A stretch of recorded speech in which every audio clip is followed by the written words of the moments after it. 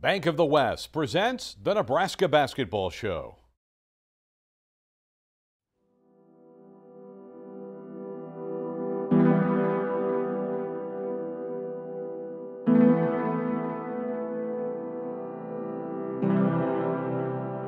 I'm excited about my fourth year. I'm looking forward to it, and our goals are always the same. We want to make the NCAA tournament. I want to give Shavon Shields and Benny Parker a chance to play in maybe the world's greatest event, the NCAA basketball tournament.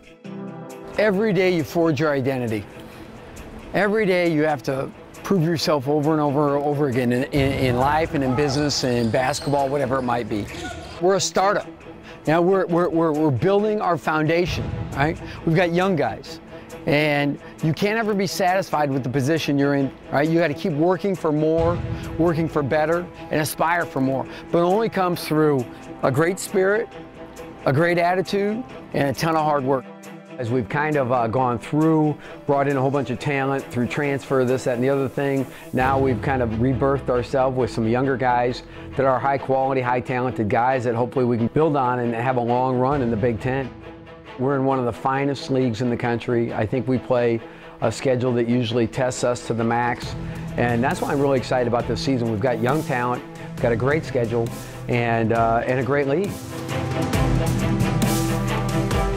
What are you going to accept? When is that point in your life where you only accept excellence out of yourself, when you only accept the freaking best, right? That starts today. Let's go. Team on three. Ready? One, two, three. Team.